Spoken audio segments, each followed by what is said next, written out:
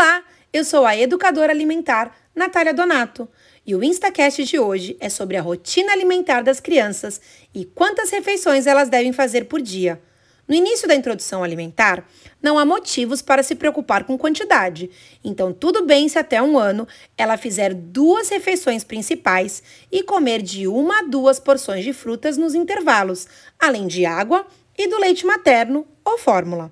A partir de um ano de idade, a criança pode comer três refeições principais: café da manhã, almoço e jantar, além de dois lanchinhos nos intervalos, água e o leite materno. A quantidade deve ser de acordo com a idade e é normal que a criança coma pouco. Apenas continue oferecendo e criando esse hábito das refeições. Ah, se elas forem em família e à mesa, melhor ainda. Gostou da dica? Então compartilhe por aí.